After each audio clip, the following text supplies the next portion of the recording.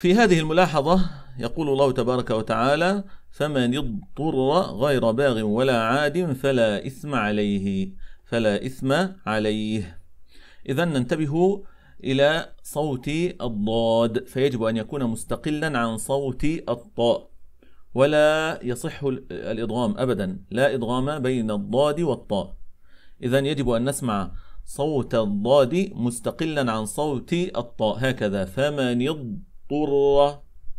فمن اضطر. لاحظنا؟ فمن اض فمن اضطر.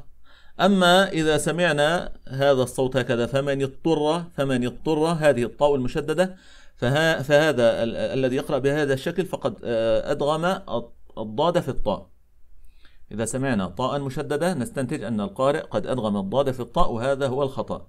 فإذا يجب أن يكون صوت الضاد مستقلا عن صوت الطاء.